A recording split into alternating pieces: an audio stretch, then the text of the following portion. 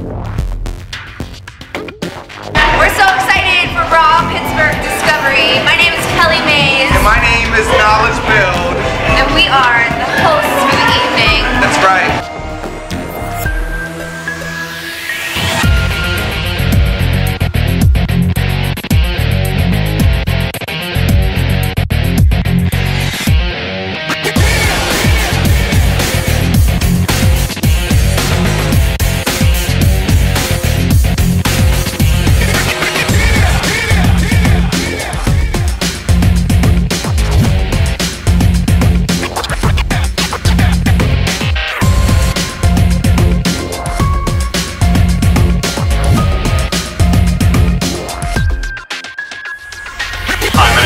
I do work as Naked Geometry. I'm an artist. I'm making a lot of geometric-based art. It's not all, in the end, ge uh, geometry, but I use the geometry to create a lot of harmonious spaces, sometimes with tons and tons of detail. Um, I've been doing a lot of, uh, recently I've been doing a lot of album art and uh, web work and custom pieces for people's homes.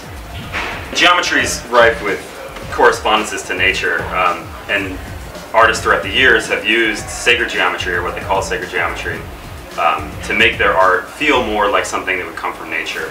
Um, for example, the golden ratio, which a lot of people are familiar with, is contained within the pentagram or within the finger. Like if this is 1 to the Greek number phi, then this is 1 to the Greek number phi, and this is 1 to the Greek number phi, and this is 1, etc., etc.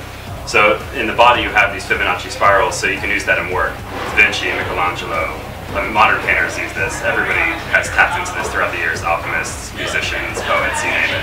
So I try to incorporate a lot of that, although a lot of what I like about it, uh, about sacred geometry, is it's not really about God or not.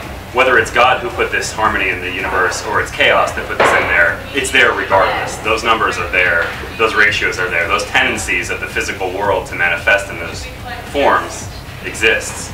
So it's holy either way, in my opinion. Well, part of my artistic practice is to not rush a certain body of my work. For example, I have a painting I've been working on since 2003.